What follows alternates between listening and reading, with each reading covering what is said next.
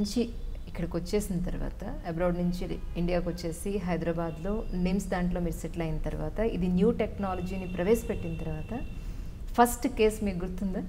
Yes ఎందుకంటే నేను ఇక్కడికి వచ్చినప్పుడు నేను చెప్పినట్లు డిసెంబర్ టూ థౌజండ్ అండ్ సెవెన్లో బ్రెస్ట్ సెంటర్ ఎస్టాబ్లిష్ చేసాం దాని ముందు మూడు నెలల ముందు స్క్రీనింగ్ బేసిక్లీ మొబైల్ స్క్రీనింగ్ చేసామన్నమాట దాంట్లో చేసినప్పుడు మూడు క్యాన్సర్లు డిటెక్ట్ అయినాయి. వారిలో ఒకరు ఒక psychiatrist. Very well known psychiatrist హైదరాబాద్లో. ఆ సైకాట్రిస్ట్కి అర్లీ డిటెక్షన్ అంటే బేసిక్లీ వారికి గడ్డ ఫీల్ అవ్వలేదు. ఇంపాల్పబుల్ క్యాన్సర్ అంటారు. అంటే మహిళ కానీ డాక్టర్ కానీ ఫీల్ అవ్వని స్టేజ్లో డిటెక్ట్ అయ్యే క్యాన్సర్ అర్లీ చాలా అంటే ఫ్యూ మిల్లీమీటర్స్ ఫైవ్ మిల్లీమీటర్స్ ఉండింది. అది క్యాన్సర్ అని నిర్ధారణ అయ్యాక రొమ్ము తీయాల్సిన అవసరం లేకుండా అత్యాధునికమైన టెక్నాలజీతో గైడ్ వైర్ గైడ్ వైర్ రొమ్ములో పెట్టి జస్ట్ ఆ క్యాన్సర్ ఉన్న కణితి జస్ట్ ఫ్యూ లింఫ్ గ్లాండ్స్ ఆంపిట్లో అన్ని లింఫ్ నోట్స్ తీయకుండా కేవలం ఒక మూడు నాలుగు లింఫ్ నోట్స్ తీయటం అనేది యాక్సిలరీ నోట్ సాంప్లింగ్ అంటారు. ఆ రోజుల్లో blue dye guided axillary node sampling చేసి జస్ట్ ఆ ఏరియా ఆఫ్ క్యాన్సర్ని తీసివేశాం. వారు ఇవాళ ప్రొద్దున వచ్చారు. ఇవాళ సాయంత్రం కల్లా పంపించేసాం నెక్స్ట్ డే వారు పనికి కూడా వెళ్ళారు.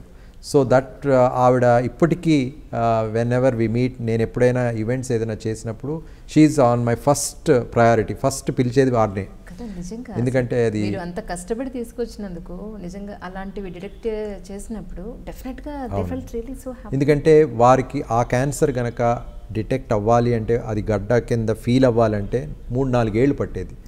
సో అంత తొలి దశలో అయిపోయేది లేదా ఇంకా మేజర్ అయ్యేది స్టేజ్ పెరిగే so it's an early early క్యాన్సర్లో కూడా అర్లీ బ్రెస్ట్ క్యాన్సర్లో కూడా ఇంపాల్పబుల్ స్టేజ్లో డిటెక్ట్ చేయడం అనేది స్క్రీనింగ్ ఆ స్క్రీనింగ్కి డిజిటల్ మ్యామోగ్రఫీ చాలా బాగా పనిచేస్తుంది. ఇట్స్ వెరీ ఎఫెక్టివ్ అనమాట ఎక్సలెంట్ ఒక విషయం చెప్పండి అసలు పొద్దుటి నుంచి సాయంత్రం దాకా ఆ క్యాన్సర్ పేషెంట్స్ వాళ్ళ బాధలు ఏం చేయాలి ఈ ప్లానింగ్లో ఉంటారు కదా? ఒక డాక్టర్గా మీరు జనరల్గా ఎలా మీ మైండ్ని ఆ ఫీలింగ్లోంచి ఎలా బయటకు వస్తారు అసలు? ఇది చెప్పాలంటే యాక్చువల్లీ నా మిత్రుడు ఒక ఆయన ఇక్కడ ఒక పెద్ద ఫైవ్ స్టార్ హోటల్కి chairman.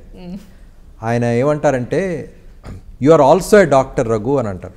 You are also a doctor అంటే నువ్వు డాక్టర్ వృత్తి చేస్తూ మిగతా అన్నీ కూడా చాలా ఈజీగా చేస్తావు. You are here there and everywhere అంటారు.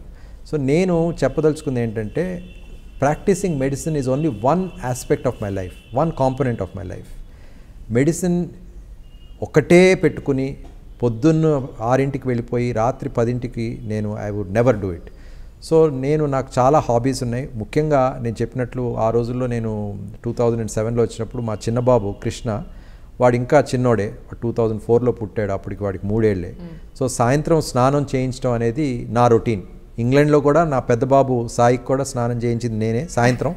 సో వాళ్ళు సాయంత్రం స్నానం అంటే ఒక ఐదు నిమిషాలు కాదు ఫార్టీ ఫైవ్ మినిట్స్ టబ్లో వాళ్ళు ఎన్నెన్నో సంగతులు ఆ నర్సరీకి వెళ్ళిన సంగతులు ఆటలాడుకోవటం టబ్లో అవన్నీ so I used to look forward ఇంగ్లాండ్లో కూడా I used to look forward evening ఎప్పుడు వెళ్ళిపోదామా ఇంటికి ఎప్పుడు పిల్లలకి స్నానం చేయించుదామా అని ఉండేది. ఇల్లు పిల్లలే మీ సో ఈవినింగ్ అనేది పిల్లలతో నేను డెఫినెట్లీ స్పెండ్ చేసేవాడిని. ఇక్కడ కూడా స్పెండ్ చేసేవాడిని. తర్వాత భార్య వైజయంతి పేరెంట్స్ మాతోనే ఉంటారు మా పేరెంట్స్ మాతోనే ఉంటారు. So we're close knit family అనమాట సో ఫ్యామిలీకి ఇంపార్టెన్స్ నేను చాలా ఇస్తాను. సో ఇటీవల ఉపరాష్ట్రపతిగా శ్రీ వెంకయ్య నాయుడు గారు ఎలెక్ట్ అయ్యారు. వారు చెప్పిన మాటలు ఎప్పటికీ నాకు గుర్తుంటాయి. వారు ఏమన్నారంటే కన్న తల్లిని పుట్టిన ఊరుని మాతృభాషని మాతృదేశాన్ని ఎప్పుడు మర్చిపోవద్దు అని అన్నారు.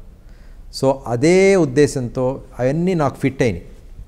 సో అమ్మ కోసం ఇక్కడికి వచ్చాను.